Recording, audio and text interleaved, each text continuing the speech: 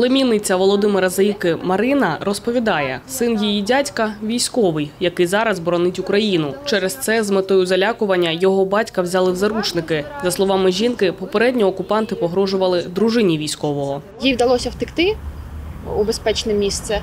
І після того, як кати ще раз приїхали, зрозуміли, що жінки немає з дітьми, вони поїхали, забрали батька. Приїхали додому до нього, там навіть район оцепили, як я не знаю, якийсь. Якась людина, яка може величезну шкоду окупантам заподіяти. Оцепили район, забрали його з дому, і е, десь 10 числа він востаннє говорив з дружиною, з братом по телефону. І далі ми вже зрозуміли, що ми ніяким чином не можемо з ним зв'язатися, щоб хоча б зрозуміти, живий він, в якому він стані, чи здоровий більш-менш. Після цього Марина почала шукати людей, які опинились у схожій ситуації. Коли я почала виходити на зв'язок з родичами цих людей, яких теж забрали і в катівнях тримають, то деяких із е, затриманих почали відпускати. І, власне, з родичами від родичів цих е, взятих в полон вдалося дізнатися, що там такі нелюдські умови, їх е, тримають з зав'язаними руками за спиною і вдень, і вночі. Це в підвалах все відбувається.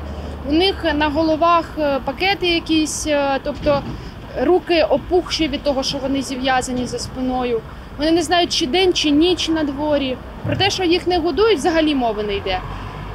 Кажуть, що навіть води не давали, розумієте? От, от, така, от такі умови там. Їх катують, підвішують гору ногами, їх топлять у головою десь у якусь воду опускають, їх електрошокером б'ють.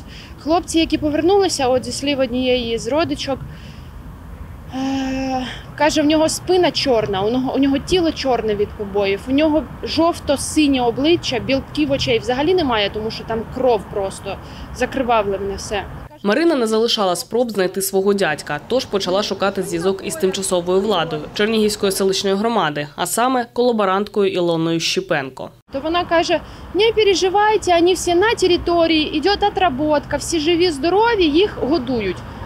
А ми дізнаємося через день інше, що там навіть води не дають, не те, що годують, розумієте? І інші, яких відпустили, там же ж як відбувається?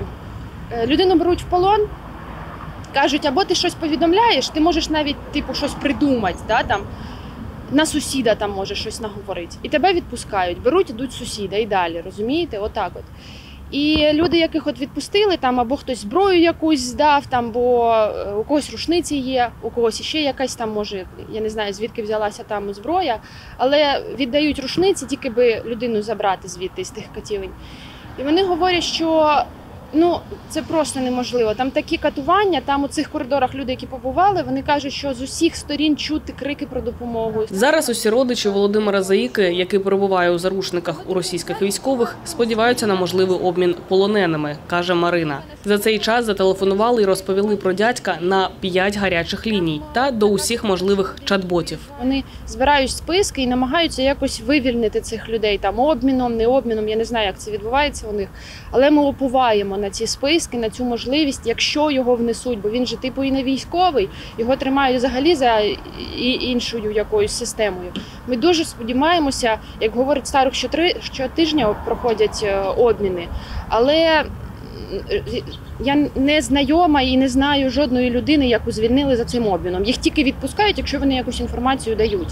От ми сподіваємося, що можливо нашого дядька відпустять за допомогою нашої влади, яка якимось чином зв'язується з цими орками, з цими окупантами. Новини на Суспільному. Запоріжжя.